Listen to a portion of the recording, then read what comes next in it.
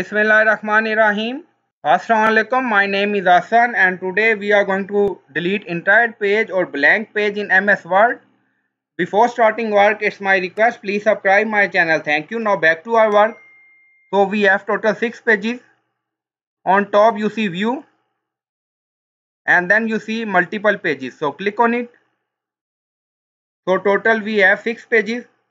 So select that page which you want to delete so I want to delete page 2 so select. Now you see cursor here. And now press ctrl G. And then you see find and replace. And here you see enter page number. So add here backslash. And then page. And then press enter.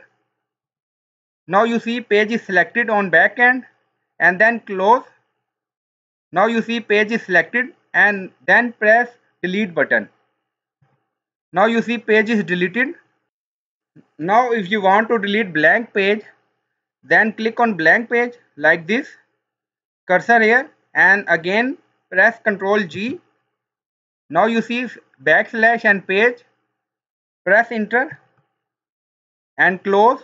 Now you see page is selected here and then press delete now you see page is deleted. Now we have four pages.